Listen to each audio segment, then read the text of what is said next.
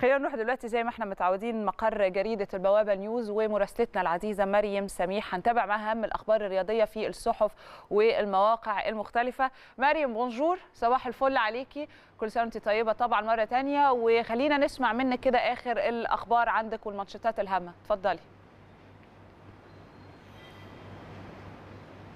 صبح عليكي يا نهاوند وبصبح على كل مشاهدي قناة الأهلي في كل مكان. يوم جديد وجولة صحفية جديدة من داخل مقر بوابة نيوز. ولكن خليني في الأول أقول لك كل سنة وانت طيبة وكل طبعا مشاهدينا طيبين وبخير دايما. وعايزة أقول لك إن أنا افتقدتك جدا وأكيد افتقدت كريم وكل جمهور 10 الصبح في الأهلي. وإن شاء الله نفضل مكملين معاكم على طول.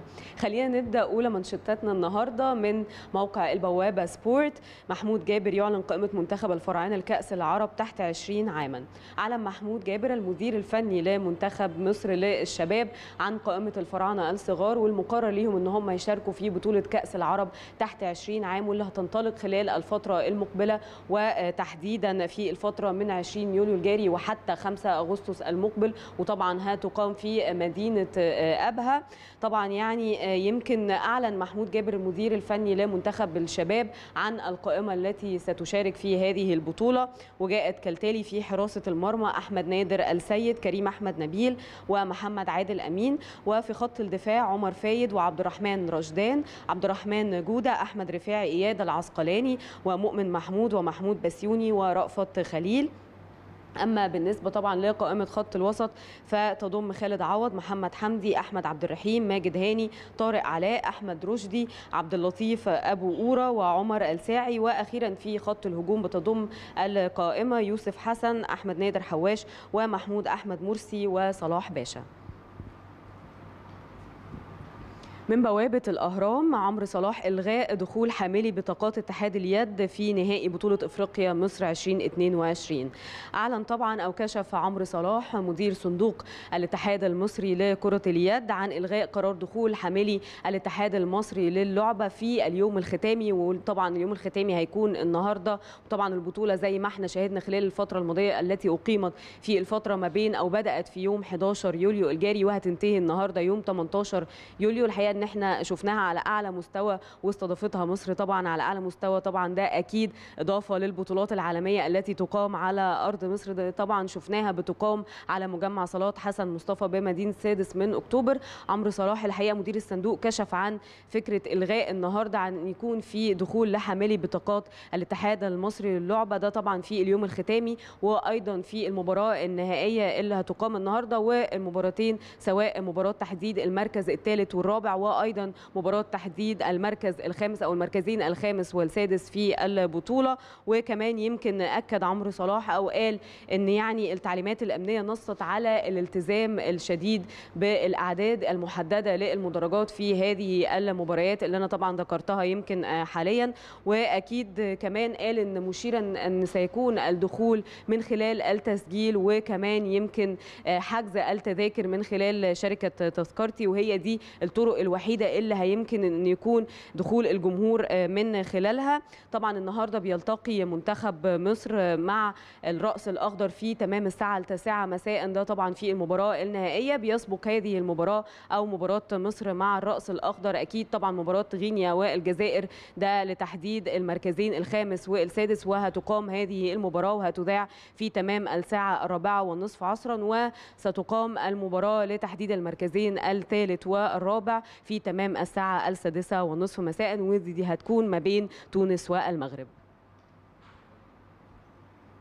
من موقع اليوم السابع الحقيقة إن مانشات أكيد عن هنا جودة نجمتنا نجمة طبعا النادي الأهلي ومنتخب مصر. دايما لا تفشل هنا جودة ان هي بترفع راسنا ورأس الجماهير المصرية كلهم. وأكيد طبعا رأس جمهور النادي الأهلي تحديدا العنوان الثالث النهارده معانا من اليوم السابع. هنا جودة تخوض منافسات بطولة دبليو تي تي سمر لتنس الطاولة. تخوض طبعا هنا جودة لاعبه النادي الأهلي ومنتخب مصر لتنس الطاولة. اليوم منافسات بطولة WTTT Summer أو طبعا World Table Tennis لتنس الطاولة واللي بتستمر حتى يوم 23 من شهر يوليو الجاري. وتعد هنا جودة أصغر لاعبة بتشارك في هذه البطولة. وعلشان كده طبعا القائمين على البطولة أو بطولة WTT Summer الحقيقة إن هم قرروا أن يضعوا صورة هنا جودة على البوستر الخاص بالبطولة ده طبعا لأن هم شايفين إن ده إنجاز كبير جدا أن تشارك لاعبة في هذا السن في هذه البطولة طبعا الكبيرة. وعلشان كده لجأوا إن هم يضعوا صورتها على بوستر البطولة. وأكيد طبعا زي ما إحنا عارفين إن عمر عصر شارك في بطولة WTT Star وغادر يمكن من دور ال 16 ولكن على الرغم من مغادرة عمر عصر إن هو الحقيقة قدر إن هو يؤدي أداء بطولي في الدور ال 64 وأيضا الدور ال 32 والحقيقة إن هو يمكن غادر في الدور ال 16 بعد الهزيمة أمام لاعب كوريا ليم كونغ هون بنتيجة 3-0 عمر عصر طبعا زي ما إحنا قلنا تأهل لدور ال 16 بعد الفوز في الدور 32 من من منافسات البطولة على اللاعب الياباني توما كان والمصنف السابع على العالم والأول على اليابان بنتيجة 3-2 وتغلب من قبله على الياباني طبعا توجامي المصنف على العالم بنتيجة 3-1 في الدور ال 64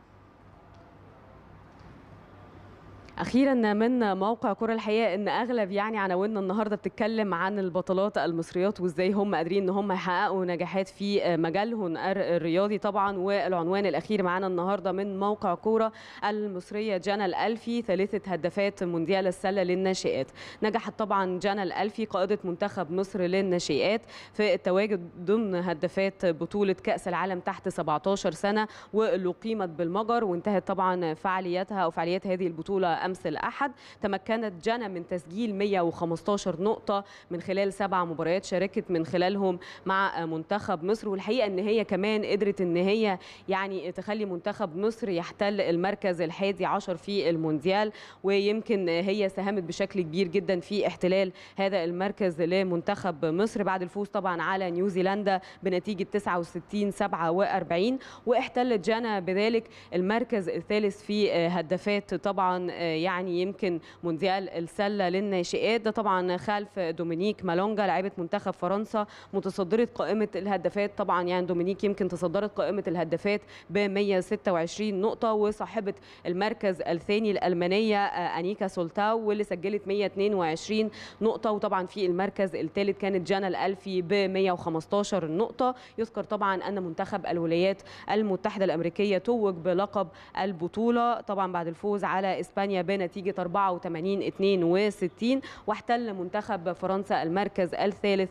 على حساب كندا محققا الفوز بنتيجة 84 82 دي طبعا كانت جولتنا الصحفية النهارده اليوم الاثنين من داخل مقر البوابة نيوز. بشكرك جدا يا نهاوند. الكلمة ليكي مرة ثانية أنا اللي بشكرك بس قبل ما أسيبك يا مريم برضو لو تقدري تدينا كده يعني سريعا بعض المعلومات عن الحلقة المرورية امبارح كانت معانا نورهان طمان زميلتنا العزيزة طبعا وقالت لنا إن في تكدسات شديدة جدا طبعا عشان كانت نهاية أجازة العيد والناس كلها كانت راجعة من السفر فهل النهارده برضو في التكدسات بنفس الشكل ولا في سيولة إلى حد ما؟